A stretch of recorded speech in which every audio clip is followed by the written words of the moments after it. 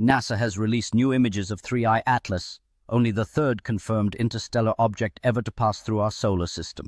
First detected in July, the comet appears as a bright point surrounded by a cloud of gas and dust, with some images showing a faint tail as it speeds through space at 130,000 miles per hour.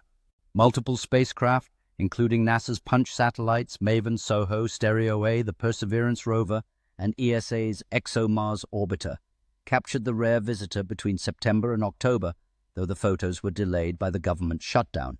Scientists say 3I Atlas shows no signs of alien technology and behaves like a normal comet, but its interstellar origin could reveal clues about star systems older than our own. The comet will reappear from behind the Sun in early December and make its closest pass to Earth on December 19th at a safe 170 million miles, with the James Webb Space Telescope set to observe it next month. This is Straightwire News. No fluff, just the facts.